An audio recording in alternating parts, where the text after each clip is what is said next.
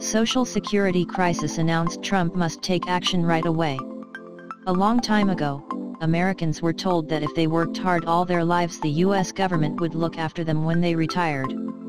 Americans, for decades, paid into Social Security, believing it would be there for them when they left the workforce. But that was never the case. What workers paid into Social Security was used to pay for benefits at that time, not in the future. Millions of Americans now rely on SS to meet basic needs. But there's just not enough money. Social Security crisis announced Trump must take action right away. Now a crisis is emerging, one created by corrupt politicians. Only a deal-making businessman like Donald Trump can save Social Security and the future of America. From Fox News. Social Security, Medicare, and Medicaid benefit millions of Americans, but are major drivers of our national debt, which has skyrocketed to more than $21 trillion.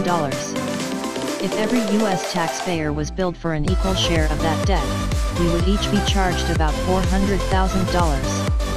The Congressional Budget Office calculates that Medicaid, Medicare, and Social Security will make up over 45% of all federal spending by 2020.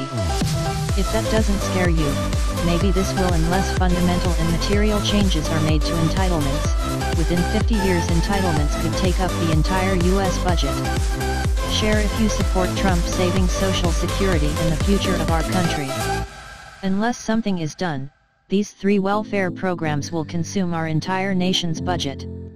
Obviously, we can't shut down our military or basic services to fully fund Social Security.